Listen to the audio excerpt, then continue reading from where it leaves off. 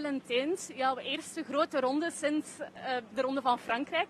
Met welke ambities sta jij hier vandaag aan de start?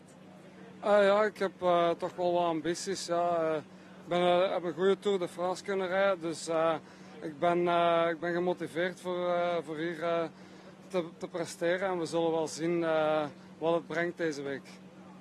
Wat wordt volgens jou de sleuteletappe van deze Ronde van Polen? Uh, morgen is al een van de belangrijke etappes en dan uh, de vierde of vijfde etappe en dan sowieso ook de tijdrit. Denk je dat de bonificatieseconden die in de ritten te verdienen vallen ook een rol gaan spelen? Um, ja, meestal uh, de Ronde van Polen is secondenspel, dus ja, ik denk wel dat er belangen zijn bij de secondes, ja. Vandaag hebben jullie met Phil Bauhaus, een van de favorieten voor de etappezegen, op het, ja, in, de, in het team zeg ik ga daar doen.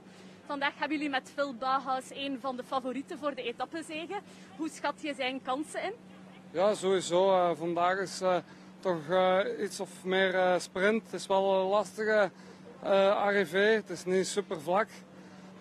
maar hij maakt zeker veel kans, ja. Normaal gezien zou Sonny Colbrelli vandaag aan de start staan. Weet je waarom hij er niet bij is vandaag? Uh, niet 100% zeker, maar hij heeft uh, wel last nog van een valpartij in de, in de Tour, denk ik. Oké, dankjewel. We wensen je heel veel succes toe.